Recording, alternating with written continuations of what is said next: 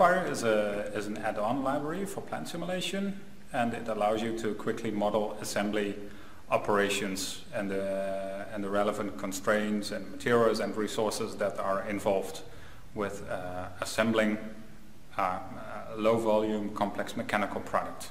Low volume products are uh, very often assembled in, in a single position or only a few positions. So often there is no long production line, so you have to uh, arrange a lot of activities that occur in one and the same spot.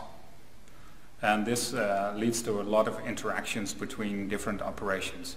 So unlike a car assembly line, where you distribute all the activities over many stations, uh, it has to happen in one or a few places. There are many possible outcomes, and the actual outcome is ruled by many events. Many of them are even random. Some operations may go wrong, or some parts may not uh, adhere to tolerances, so there has to be done some rework.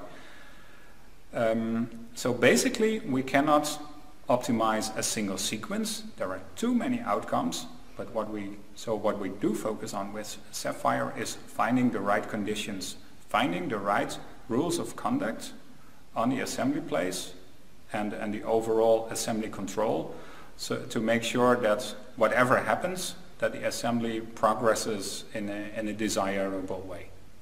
So Cards PLM Solutions uh, continues to develop and uh, market Sapphire.